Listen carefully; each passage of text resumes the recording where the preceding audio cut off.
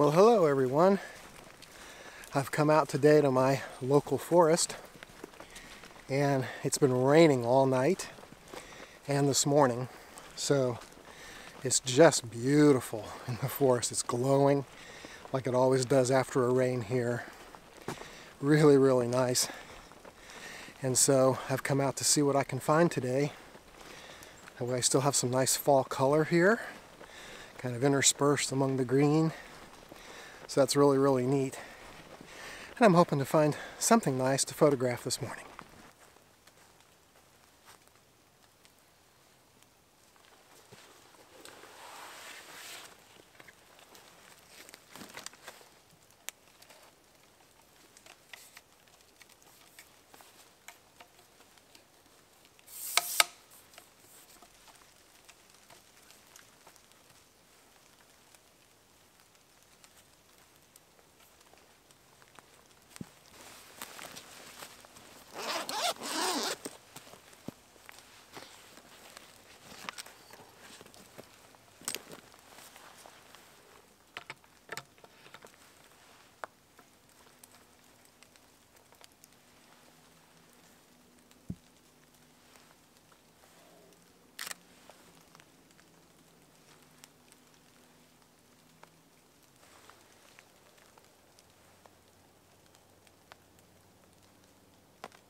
So what I really like here is this curving uh, tree with the fall color. And so I'm just trying to figure out how to place all these elements in the frame. Uh, I kind of want the big, heavy, dark tree to be off center a little bit. I like I like this one curving out sort of toward the edge and just framing it by the other verticals. And then, of course, the beautiful uh, palmettos coming through here and a nice accent color between that and the and the glowing pine needles because of the rain and the fall colors is also saturated. So I really like this image and it's just so emblematic of our North Florida forest this time of year.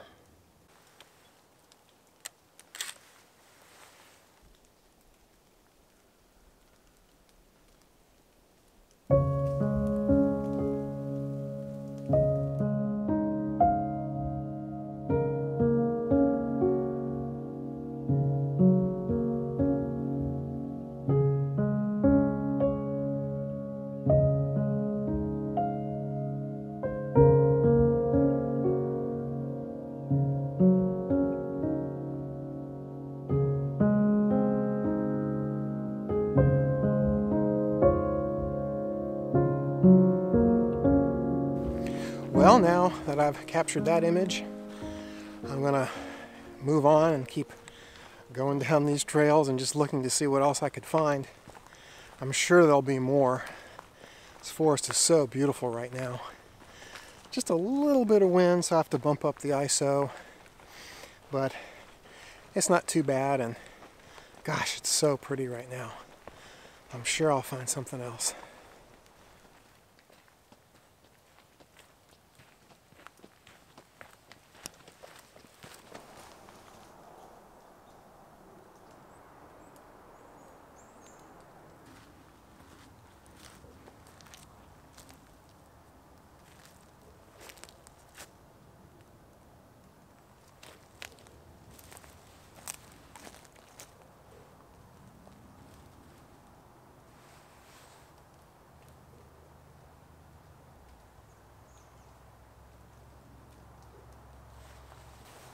So I stopped at this uh, little area here that has a lot of potential.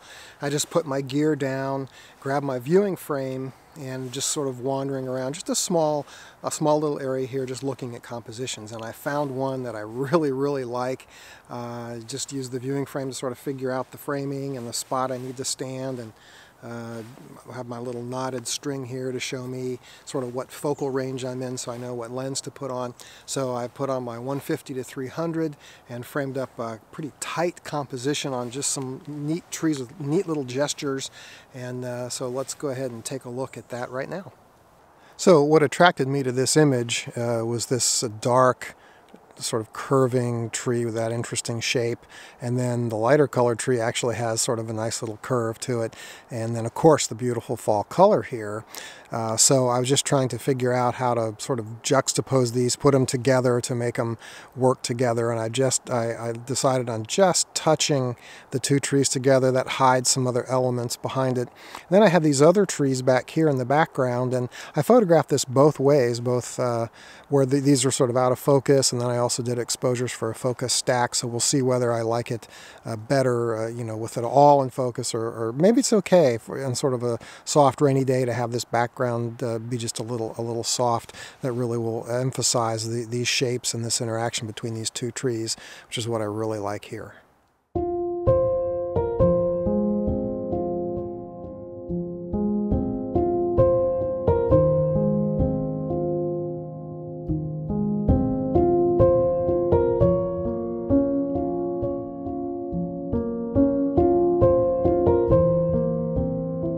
Well, I found one more image uh, right in this same little area. And uh, of course, I just love this neat little sort of past peak fall color. And then just the verticals. Uh, this uh, group over here is kind of neat because they kind of come out of one spot and fan out. And so just a nice little sort of abstract composition in the woodland. And um, I think that's pretty neat. So I did have to focus stack that one. I, I focused uh, on this tree and then this next group and then this end group. So we'll see uh, how that comes together. But um, uh, yeah, just a nice little abstract group of trees right in the forest. Uh, just sort of my favorite thing to do and always something to keep a lookout for. Uh, just leaves sort of in between the trees. I, I, think that's really special where there's some trees in front of, of this group of, of highlighted leaves and some behind. And so it just gives you sort of that feeling of depth and immersion. And, uh, and I think that's something really special here.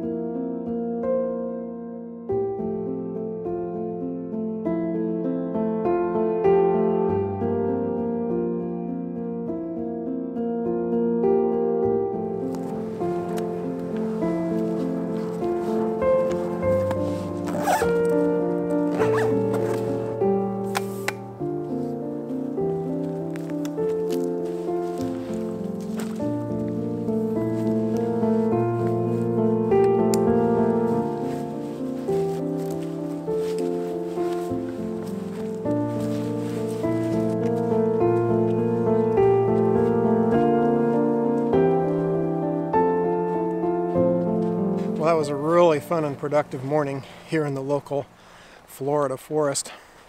I got really lucky that the rain held off and that I found several nice subjects to work on.